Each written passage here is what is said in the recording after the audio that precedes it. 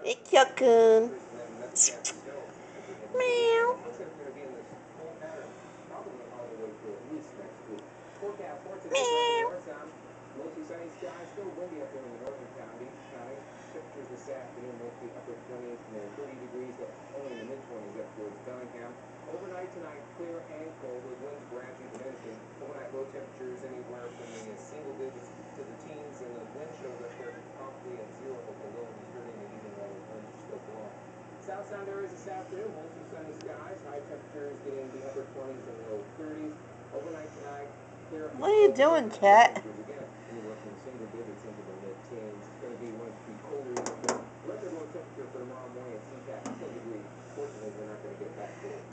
the coast this afternoon, we're going to be looking for sunshine, high temperatures in the low to mid 30s.